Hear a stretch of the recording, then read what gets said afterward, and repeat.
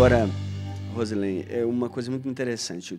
Desde quando a gente está conversando, me impacta muito o seu estilo de vida e eu acredito que você tem uma, uma, uma né, a paixão que você tem pelo Evangelho é muito forte. A gente vê isso muito claro. E, e como que é? A gente sempre fala assim que para uma visão nascer alguém tem que morrer. É a frase que eu sempre falo. Isso para você foi muito claro, né? Porque a gente, às vezes, a gente espera e a gente vê uma nova proposta para missões que você faz missão, mas você não vai morrer.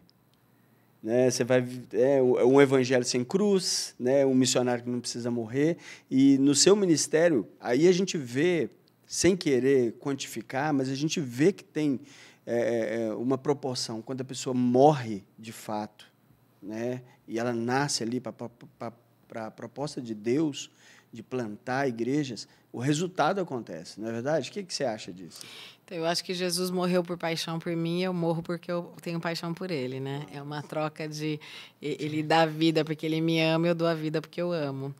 Então, ele também renunciou e eu também renuncio. Então, eu acho que não é nem algo que a gente tem muito que pregar. Quando você ama a Deus de verdade, você entende que não dá. É lógico, é lógico que seria mais fácil estar com a minha família, na minha nação, um monte de coisa. Tem vários desafios, né, que eu vivi. Ele viveu, ele mora aqui, nasceu aqui, mas veio de uma família, por exemplo, super que podia, né, ter casas várias, várias coisas, muito até que tem dinheiro. E eu lembro até quando o pai dele oferecia, né, casa, trabalho. Casa, trabalho e aqui tudo. eu podia eu oferecer nada para ele, né? Que eu te oferecer nada. Pastor, eu quero ficar aqui para para abrir a nossa escola aqui, que, é, que abrimos é. 14 anos atrás. E a pastora falou: tá bom, eu penso que tenho que servir Deus a tempo completo. É, você está de acordo? Se eu estou de acordo, só que a igreja não tem como te, te ajudar economicamente. Quanta e, fé você tem, né? E, e, e tive que tomar uma decisão de fé. Sim, claro. Então... Porque quando liguei para casa Papai, eu, eu vou também ficar vou ficar aqui também esta, esta decisão. Ah, que bom. Que Deus te ajude. e é verdade que eu também eu não fui mandada pela minha história por uma agência de missões tal. Então, assim, foi na raça. A nossa igreja, nós nascemos na raça. E eu gosto dessa ideia. Eu até não sou muito de acordo que a gente já mande missionário com um monte de dinheiro tal. Porque sei lá, se tem família é diferente, porque eu acho que a claro. pessoa, a gente não pode colocar também os filhos na escolha dos pais. É diferente uma família, mas eu creio assim que é muito importante essa é um coisa de depender de né, Deus, também, gente. Né? Essa coisa de depender de Deus, eu não tiraria isso de nenhum jovem, porque tipo, a gente tinha que ter fé para tudo. Quando a gente começou a igreja, a gente tinha que ter fé assim para comer.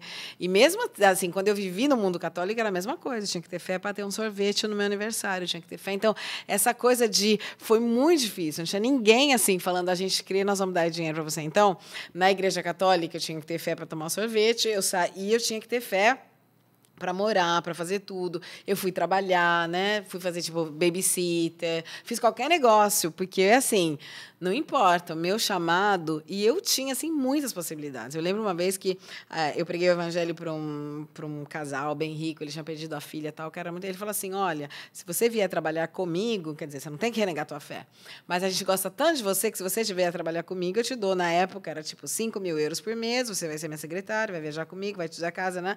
Só que eu tinha um chamado. Então, era assim, não dava para negociar, entendeu? E eu sabia que se eu estivesse negociando, eu ia estar desobedecendo a Deus. Então, tem que morrer morrer, tem que morrer. Mas, sinceramente, hoje eu conheço mais nações do que um monte de gente que não morreu. Eu falo mais línguas do que um monte de gente que não morreu pelo Evangelho. Hoje eu tenho muita colheita e talvez a gente tenha muito, mas não, não importa esse muito, porque assim, quando você quer servir a Deus, você já sabe que você não vai ser um milionário. Pois, se Deus quiser, pode acontecer, mas não é uma regra essa, né? Tem um caso aqui, outro ali. A gente sabe que é uma vida de renúncia por algo maior. Então, assim, você tem filhos, já vai ensinando o filho que, assim, a gente está numa casa missionária, né? Eles, claro. eles, moram lá dentro da, da escola missionária, né? Como é que é? Filho já desde pequeno sabe que é, que é, não é fácil. Fantástico. E, e essa casa missionária, é, é, até falando das estratégias da igreja.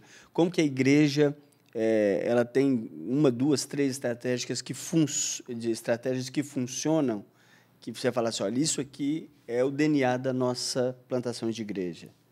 Quais, quais seriam? O um primeiro ponto é os life group, o grupo em casa, que isso part maioria das igrejas começa com life group sempre com uma duas pessoas que seria célula, é né? como se fosse seria célula, como assim. célula, sim. Nós chamamos de life group. Uh, que ou nos por internet ou porque não sei sabe da igreja liga aqui para a igreja e quer começar um, um grupo na sua na sua cidade isso é o mais fácil o mais rápido de tudo É, Então, todo missionário seus que são treinados pela escola de missão, eles já vão para uma região e já começam um life group. A ideia é que, a, nos tempos, decidimos com a pastora que cada novo pastor, missionário, eh, tem que ser trein- treinado na Isso é escola fantástico. por, por causa de ter um bom conhecimento bíblico. Nós temos escola bíblica, temos tudo, mas ali são dois anos full time e viver junto, eh, conhecer a pessoas. Muito jejum, muita oração. oração, jejum, vigília e, e, e mais conhecer as pessoas porque você vive e você sabe quem tem de verdade, que é essa pessoa de Tipo, o verdade. cara pode saber muito de Bíblia, mas se ele não tem caráter, é como o Maradona. Talento sem caráter é ruína, né? no que- deu no que deu. É interessantíssimo, porque eu também vim dessa escola onde missões era muito. Eu fui muito tocado pelo movimento que Deus né, levantou através da Jocum. E nós temos uma escola na nossa organização missionária e as primeiras escolas, elas eram assim, para treinar missionários para trabalhar em comunidades das antigas favelas. Então a gente tinha era coisa assim de todo mundo tinha que lavar, todo mundo tinha que fazer comida, todo mundo tinha que evangelizar e era um trabalho fantástico e no final, passado anos, todos os, os alunos que passaram pela escola, eles sempre falaram, olha, a escola mudou a minha vida. Por causa dessa, dessa oportunidade que a igreja deveria estar dando, né, de coinonia, de fazer andar junto, e ela se restringe só a um encontro no domingo, então a gente não tem profundidade. E essas escolas são fantásticas, né? Então, e hoje vocês têm quantas células, quantas life groups hoje espalhadas no mundo? Ah, a gente não sabe exatamente contar quantas. A gente sabe quantas igrejas, porque assim a, gente, assim, a gente faz uma vez por ano uma conta, né, mais ou menos. Mas é difícil, né? Porque você sabe que são coisas que vão, vão nascendo. mudando, Vai né? mudando. Pode dizer um mil e poucos. Pode, pode, mas a Que eu gente... lembro a última vez que contamos. É, gente- é que, a verdade, a última conta que a gente fez foi antes da pandemia, faz bastante tempo, porque com a pandemia então, a gente não E a- fez esse, é. esse sentimento que esse ano a gente vai voltar a fazer, mas tem bastante. Mais de mil células. Im- Impressionante. Outra coisa é a escola. Vocês têm uma escola de arte, a escola de, de desenvolvimento artístico. Então, a gente tem um pessoal que é artista e que eles eh, desenvolvem outros artistas que usam a arte para evangelizar. Por exemplo, a gente tem fora de Milão até uma casa-galeria, onde esse casal, ele é arquiteto, ela, ela cuida de arte e tudo. Então, os artistas que fazem quadros, tal, eles expõem ali, eles abrem para o pessoal que não é crente e os cristãos vão falando porque que ele fez essa arte, não sei o que, não sei o quê. E temos esse pessoal que eles... eh, introduzem mesmo na vida artística, mas tem sempre uma, um- uma direção evangelística. Ah, fantástico. Mas é, é, é um nível de top de arte. É, são É, pessoas tudo co- que... Não é, excelência, não é não- o teatrinho que você não- vê na igreja. Não é algo... Não, não, pare, não parece algo de É. Não é não, é, não é a dancinha, É, assim. Não é. A de gente está falando verdade- de arte arte mesmo. né? É, galeria, galeria. E aí você entra muito. pro- apresentação, apresentação. Isso, porque você entra muito para o nível também dessa visão de redimir os segmentos da sociedade, né? De você conseguir fazer com que o cristão brilhe Essa na é área a ideia economia, deles mesmo, é pregar para artista, é criar assim uma geração. Então, as coisas que eles fazem, às vezes até não é muito entendido pela igreja, porque a igreja sabe que a igreja não é treinada para arte, né? A gente já está numa nação onde muitas pessoas gostam de arte. A arte é uma linguagem muito importante, sobretudo no norte da Itália. No sul da Itália seria menos. Você faz a festa da linguiça, no, no sul ia ter mais gente do que fazer um concerto de música clássica. Aqui o povo já gosta mais, entendeu? Mas é uma linguagem da Itália, sobretudo para uma certa classe social. Sim. E aqui na sua igreja você tem muita gente ligada com a arte, né? A gente tem. E eles conseguem já dar uma nova, um um novo tom para a arte que eles geram depois que Ah, eles conhecem não, Jesus? não, Você percebe uma diferença? Ó, pra você ter uma ideia, eles fizeram um espetáculo que chamava Saul, que você fala, você está esperando todo mundo com a roupinha de Saul, né? Nada, era uma máquina que eles mandaram fazer, uma máquina de lavar gigante. De lavar roupa. De lavar roupa. Era em silêncio por 50 minutos. Na realidade, falava do orgulho de Saul. Então, tinha um momento onde a menina entrava dentro da máquina. A máquina, de repente, saía um monte de sangue, tipo cruz, e molhava a menina. Então, assim, era uma doideira. No começo, o povo falava, nossa, a luta da, da mulher que trabalha, da dona de casa com a máquina de lá. E daí, no fim, eles punham um momento do filme The Passion no meio e acabavam pregando o evangelho. Assim, era uma coisa muito louca. Uau. Mas, assim, essa arte contemporânea falando do evangelho. Eles, eles geralmente fazem isso. Ou, tipo, fazem stand-up, que você morre de dar risada, usando política, não sei o quê, mas sempre entra com Cristo Conduzindo o pessoal para isso. É. E Isso tá, a gente está vendo que está surgindo essa nova onda missionária. Né? A gente estava falando isso antes sobre a nova onda missionária, que eu acredito que é a que vai deixar a, a obra missionária numa velocidade incrível. Ela vai fluir numa velocidade incrível, que são eh, os missionários que vão através da profissão, os profissionais liberais, dos negócios em missões e das ONGs. Então, hoje, a gente está vendo surgindo missionários, foi como aconteceu no Povos e Línguas. Durante muito tempo no Povos e Línguas, nós fazíamos os eventos e as pessoas vinham. E eu pensava assim, nossa, nós vamos levantar vários missionários old school. O que é o old school? É como nós que levantávamos Raiz, né? recurso, Como raiz, dizem no Brasil. diz Old school. oferta de gente ajudando a gente, a gente ia. É, e, de repente, essas pessoas não, vi, não vieram. Essas pessoas não vieram e eu fiquei super frustrado. E eu falei assim, Deus, o que está acontecendo? Nós fizemos assim, uma mobilização incrível. Muita gente falando para mais de 20 mil pessoas e, e esse pessoal não veio. O senhor não está mais fazendo missionário como antigamente. E, de repente, começaram a vir alguns profissionais. Um me chamou, Breno, olha, eu sou médico, estou impactado, quero ir para a Europa, mas assim, eu não sinto que eu tenho que largar a medicina porque Deus me deu isso. Mas assim, se tiver alguma vaga aí para esse tipo de missionário meio estranho, que é médico, você me chama. Aí o outro veio, olha, eu sou advogado, dá para fazer missão? Daí eles acabam indo e, E aí, abrindo eu voltei para casa, eu célula. voltei para casa e fiquei pensando, eu falei, Deus, está tudo errado. Aí Deus, não, Breno, é isso aí, ó.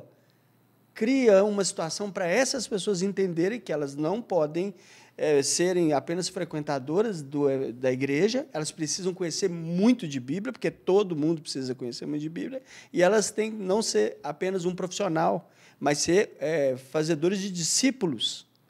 E aí na Europa, e elas vêm para cá e não são simplesmente imigrantes, mas também os, prof- os missionários, como você falou, missionários que são chamados por Deus para pensar a missão, só que eles estão vindo através dos negócios, porque nós temos uma, pelo menos do meu ponto de vista, eu penso assim que a gente tem essa frase que é uma frase bíblica, mas é assim, ah, mas ah, tem que pagar o salário do missionário, que o, quem vive do evangelho, que do evangelho coma.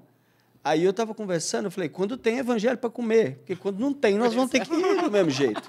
E o que, quando tem evangelho para comer, é o próprio autor dessa frase, o apóstolo Paulo, ele é que falou: olha, eu fui fazendo tendas para buscar uma oportunidade de falar nas sinagogas aos sábados, estava ali nas regiões onde eu queria plantar a igreja. Exato. Aí ele plantou a igreja, ele, né, na verdade, as pessoas aceitaram o Senhor Jesus, as pessoas vieram para o Senhor Jesus, ela- o Espírito Santo ministrou no coração delas para elas dizimarem e ofertarem, aí nasceu o fluxo financeiro da igreja, e aí o Espírito Santo, na boca do, Paulo, do apóstolo Paulo, fala, aquele que vive do evangelho, que do evangelho co- coma. Então, separa um dinheiro aqui para cuidar do pastor. Então, nasceu assim, Agora, quando não tem isso, a gente vai como Paulo foi. Então, esse movimento, essa nova onda missionária que o Billy Graham fala, todos os outros grandes missionários falam, ela é o momento que a Europa, principalmente, vai experimentar desse grande avivamento e vai nos surpreender, porque o cara vai vir tão profissional, com alto nível, como você falou, de arte, excelência, e com alto nível de comunhão com o Espírito Santo, conhecimento bíblico suficiente para abrir uma igreja. E isso vai revolucionar. Isso dá velocidade. Como essa questão da célula que você falou, que dá muita Verdade, dá velocidade. velocidade, e, sim. e- e eu acredito que nós estamos vivendo esse momento. E para você, que que você, como é que você pensa agora educar a sua igreja para essa nova onda missionária? Então, eu creio que a gente já educa faz tempo essa, essa ideia de aonde você está para o evangelho. Então, é uma coisa que a gente sempre fala para eles, a gente crê que aonde a pessoa está, ela pode ser luz tal. Logicamente, eu quero agora, a gente até no, no nosso programa desse ano tem sempre uma reunião com empresários ou com livre, livres profissionais, tudo, porque eu quero criar mais essa mentalidade de criar negócios para para mandar mais missionários, para gerar recursos, Uau, porque eles é podem. tremendo. e é verdade, às vezes eles mesmos podem abrir em lugares onde a gente já tem contato tal, uma um franchising deles, alguma coisa onde a gente Uau. pode ajudar para é algo que já tem, assim, já tem passado pela nossa cabeça faz tempo. A gente fez bastante assim reuniões para evangelizar mais missionários que a gente está na Europa, né? A gente está na fase ainda de evangelizar Os empresários. e foi até legal, porque a última reunião, até falei para você, tinha 80% do povo não era crente, 20% eram. Mas a gente, um pouco com aquele método de levar uma pessoa eh, legal, que fala de Jesus tal. Mas eu creio que depois a gente vai precisar ter assim um, um método, né? alguma coisa, porque o, empresário, depois que você fala, tudo bem, é um- uma pessoa prática. Ele vai querer estar aí o segundo passo. E aí? Tudo bem, eu gostei de Jesus. E então a gente quer absolutamente, eu creio muito nisso. Eu creio até que existem apóstolos no meio só de empresários, eu creio que tem um apóstolo no meio do esporte. Eu creio que não é só uma coisa para a igreja, né? Porque apóstolo geralmente abre muitas frentes. Então tem gente que está naquela área assim, vai começar algo ali, vai levantar pessoas daquele modo. Então, talvez o artista, o empresário mesmo, ele tem um modo de falar que talvez não é o meu, né? Mas as pessoas podem escutar. Então, e, e a outra coisa que eu creio é, gente, não dá para ficar pensando, escolhendo. A gente tem que abrir assim porta para todo mundo. A gente está num momento onde, se a gente não pregar o evangelho com tudo que a gente tem, o mundo começa a engolir o evangelho. E a gente sabe que não é a vontade de Deus. Então, não tem mais, ah, que, manda, quer ir. Eu falo assim, quer ir, vai. Ah, quero abrir. Eu já abri igrejas com gente improváveis. Entendeu? Improvável. Aliás, eu sou improvável. Dois velhinhos, não, muita gente, mas assim, mas muito improvável. Você fala dois velhinhos, dois. O Muito que, que vai dar nisso, entendeu? E a gente acreditar, acreditar, acreditar, por quê? Porque tinha uma pessoa, esse casal, que amava muito o reino de Deus, queria fazer. Você fala, eles eram, tinha tudo para fazer? Não tinha nada. Mas a gente, assim, eu falo, eu não posso te dar paixão, mas eu posso treinar você. Então, eu não tô nessa, ah, talvez seja aquele que fala super bem, ele é ótimo, ótimo empresário. Não me interessa. Agora, se o cara tem paixão, Uau. ele pode não ser ninguém, pode ser alguém. Eu posso treinar o apaixonado. Agora, eu não posso fazer você apaixonar. Então, a gente está em busca disso, de levantar os apaixonados. Porque o Fantástico. treinamento a gente sabe dar. Ajudar a ensinar a- criar uma igreja, a gente fala, puxa, é, faz assim. Mas eu vi que quando é que a igreja cresce? Quando você tem uma pessoa apaixonada e uma pessoa que é proativa. Não adianta. Algo, alguém que cria coisas, faz, né? É um empreendedor. meio empreendedor. Não adianta. O cara pode ter um coração gigante. Se ele não tem essa, essa veia que é empreendedora, não vai criar coisa. Ah, tá dando errado, é paciência, tá dando errado, entendeu? Então, eu acho que essas duas características, quando a gente encontra paixão e empreendedorismo, meu, vamos embora. Uau, que casamento, né? É, você, a gente está vivendo uma vibe, principalmente no Brasil e aqui na Europa também, sobre essa questão do feminismo, né? E a gente sabe que isso é completamente prejudicial para o relacionamento, inclusive na igreja, né? Mas qual é a dica que você daria para mulheres? Porque você, como mulher, a gente, embora Deus nos chama, né, Joseph? Os homens para a obra missionária, mas é muita mulher que Deus chama. E as mulheres, e elas têm dificuldades, né, por causa, naturalmente, uma mulher sair do país sozinha, é, viver numa condição, às vezes, assim, Deus provando, coisa que talvez a gente olhando assim, humanamente falando, seria recomendável. Qual que é a dica que você dá? Porque eu vejo que muitas meninas, muitas mulheres, elas, elas vivem esse dilema, assim. E elas estão altamente apaixonadas, porque parece que a mulher ela tem uma paixão de louco com Jesus, um negócio assim, ela, ela Então, a ouve... mulher tem uma paixão de louco e tem mais mulher do que homem. Então, geralmente, alguém vai ficar sem par, né? e aí? né? Então, eu creio assim. Eu não creio que é melhor ser casado ou não ser casado. Eu creio em propósito. Tem gente que vai ter um propósito com alguém que Deus vai colocar junto, né? Ele põe junto propósito. E tem gente que não vai. Agora, essa coisa, o que, que eu acho? A igreja, geralmente, a igreja mesmo, ela querendo ou não querendo, ela é muito masculina. Então, é, é a igreja do puto, mesmo que chegar, vai ser difícil, vai ser complicado. Ai, mulher, não é assim. Eu lembro uma vez que eu fiz uma viagem, eu fiz, eu ia levar um grupo, daí eu falei, mas eu antes, eu fui sozinha, eu não tinha férias, peguei meu carro e fiz Israel e a Jordânia, país muçulmano, todo mundo. Ai, é difícil, é terrível. Gente, não era difícil, não era terrível, o povo é super gentil, é super seguro. Mas, assim, a ideia do povo, uma outra vez que a gente foi para Angola, veio uma pessoa falar se ela podia me dar de presente, um homem, um colete antibalas, porque na Angola tinha. Gente, foi uma viagem muito tranquila, teve guerra, mas eu acho que esse medo do povo, geralmente, eu aprendi isso na minha vida, não viva no medo do outro.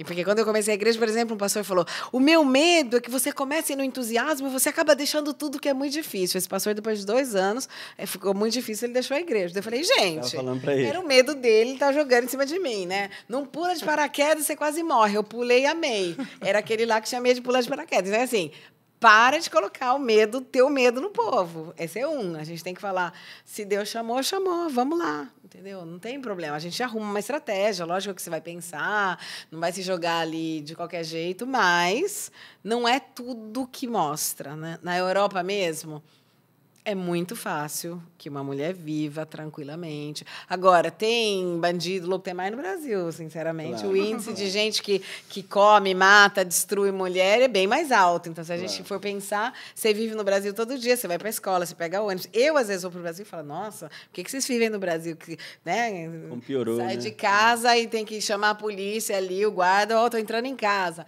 Então, assim, quem já viveu no Brasil é tipo tipo crise econômica, a gente está treinado. É. Não tem um lugar onde você não tem aqui, né? Tipo, viveu no Brasil, São Paulo, Rio, você sobreviveu ali, pegando ônibus às 10 da noite, você chegava do trabalho. Passando três, é. quatro horas dentro do ônibus. Daí fala, ah, mas no país você conhece a língua. Querido, todo mundo, existe a lei da sobrevivência sempre. Então, primeiro, acho que a igreja mesmo tem que tirar essa coisa. Segundo, é verdade que tem essa coisa. Não, eu não estou falando de um modo de empoderar a mulher, mas eu estou falando assim, algumas mulheres, elas têm que entender que Jesus que completa a nossa alma, né? Tem o pastor José Gonçalves e vários que falam: ah, a única mulher sozinha feliz que eu conheci é você. Daí eu virei exemplo nas pregações dele, porque mulher precisa de homem. Então, eu acho que mulher precisa de Cristo, como homem também precisa, porque a Bíblia diz que ele é o meu completamento, né? Diz ele, ele, ele é a cabeça e nós vamos ser completados em Cristo. Então, quanto casal que se ama, mas não é completo? Todo mundo. Você perguntar para uma pessoa honesta, vai falar: é a tua esposa de verdade que supre todas as suas necessidades? Não é, eu preciso de Deus. Então, o que a gente tem que entender é que ele é o esposo da nossa alma. Até se você é casado, ele tem Isso. que ser o esposo da tua alma, não só se você está sozinha. E o teu relacionamento com Deus tem que ser muito bom. Quando você tem um relacionamento com Deus muito bom, e parar de ficar se comparando. Porque o que eu vejo nas igrejas, a, a moça talvez não é casada, não é que o pessoal fala, querida, se for para casar, Deus vai mandar uma pessoa. Não mandou? Se envolve com missões, com criança, dá tua vida. Não, já começa, tá orando, e o varão, e não sei o quê. Aí apresenta a menina, coitada, e fala: olha, ela não é casada. Alguém conhece alguém? Então, assim, parece que se ela não for casada, isso fazem com homem também, né? Mas é. talvez menos. Parece assim, meu, um terror, porque a vida tem que ser. Então é assim: tira foto todo mundo no Natal, com meu pijaminha, todo mundo junto, a família feliz. Mas existe uma categoria de pessoas que não vão casar. O próprio Cristo falou. Né? Entendeu? Né? Então, o próprio apóstolo Paulo falou, tipo, tudo bem se vocês quiserem casar, mas eu até aconselho vocês não casarem, para servir a Deus. Esse é um tá conselho dele. Em fazer um Seja como acontecer. eu. Então, eu creio que esse ensino tem que partir da igreja, que não tem a ver com feminismo, tem a ver com dependência de Deus e tem a ver se a vontade de Deus for que você case, você vai casar. Não precisa ficar atrás, vai pensar. Porque daí o que acontece? A mulher, ela podia, naquele momento, a moça, o moço, falar: Meu, eu vou fazer missões, vou servir a Deus com é. todo o meu coração, tenho família, tenho filho, vou dar tudo. Se Deus quiser, vai chegar, cara, também. Eu creio que é, e é muito interessante isso que a gente está falando sobre essa questão de mulher, porque na missão, se as mulheres que elas, Deus continua chamando, elas têm sensibilidade, se elas estivessem dispostas a servir a Deus, como Deus está falando, porque isso que você falou é muito interessante, porque o apóstolo Paulo fala: aquele que é solteiro, cuide das coisas do Senhor, de como agradar o Senhor. E os casados cuidem da coisa do mundo de como agradar as esposas e, consequentemente, as esposas dos e é maridos. É muito mais fácil agradar o Senhor, é, a gente sabe. É, sem, sem dizer isso. Mas tem um outro lado que é interessantíssimo, porque a gente pensa assim, ah, a pessoa, estou ficando velha, ou estou ficando velha, agora então eu vou começar a fazer as coisas de Deus. Então, quando na verdade era o contrário. A verdade, Deus falou assim: você já nasce fazendo as minhas coisas, nasceu para Cristo, já nasce fazendo a obra do Senhor. E se o Senhor quiser que você é, encontre uma pessoa, ele, né, e, e, e você crescendo no, no, seu potencial de pessoa, né, sua inteligência emocional, naturalmente não vai ser um empecilho. Então, só falta Deus realmente te apresentar para a pessoa que Ele quer te apresentar. E eu Agora, creio mais não... ainda. Eu creio assim: você deveria casar só quando você não precisa casar. Mais uma coisa aqui, talvez para a gente fechar aqui, é inspirar as pessoas. Né? Eu acredito que os livros inspiram bastante. Né? Eu li alguns livros para desde quando eu me envolvi com a missão na Europa e esses livros realmente me ensinaram a errar menos, né? Então eu queria te pedir para você indicar o livro. Então, eu até que você um, pudesse falar, olha, lê esse livro. Um livro que me deram muito tempo atrás, que é muito se chama Simple Church. Agora tem até um meio movimento, né, da Simple Church, Igreja Simples, que é de Tom Rainer e é Eric Janger. Eles são da África do Sul, esse pessoal que escreveu esse livro. Que você fala, o que que eles falam? Até atrás fala, a simples revolução começou. Então você imagina, cara, eles vão dar umas dicas legais. Assim, as dicas é, volta a pregar o evangelho. As dicas é mostrar que a pregação do evangelho ela é sempre uma boa nova, né? Pregar a boa nova é boa e sempre nova. Uau. Então começa a mostrar como a igreja às vezes perde, querendo fazer mais coisas, querendo né? perde o centro é, da pregação do evangelho e, e mostra como o resultado com uma pregação simples, direta, eficaz, que não sai das linhas da Bíblia, santidade, jejum, oração, Bíblia, sai das quatro linhas do evangelho é, como vai funcionar sempre, como funcionou sempre ao longo dos anos. Então, assim, é um livro legal que eu aconselho. E para quem quer fazer missão aqui na Itália, como que funciona a escola de vocês aí, Joseph? É, a primeira coisa tem que falar com, com, o pastor, com o próprio pastor, com o próprio líder, como creio cada um uh, já faz. E mandar um, um mail ou entrar com num contato com a, com a, nossa secretaria e nós vamos a fazer uma, uma entrevista. Tem um site, né? Tem, tem um site é, www.hangar28 que é por causa do Salmo 2, é, versículo 8. 8. É, pedi e, e não, da cidade. Eu me lembro em, em italiano, estou traduzindo na minha mente. Ah, Salmo 2. Dia é, me dar as nações. É. É... E hangar, porque sabe que o hangar é o lugar onde ficam os aviões, onde eles arrumam os aviões para ele voar, onde eles fazem aviões. Então a ideia, a ideia é que você chega, é, Recebe, armamos é. tudo, uh, você recebe o treinamento e depois Sim. viaja e, geralmente para o seu objetivo. E geralmente começa que mês do ano? Começa em outubro, termina em agosto.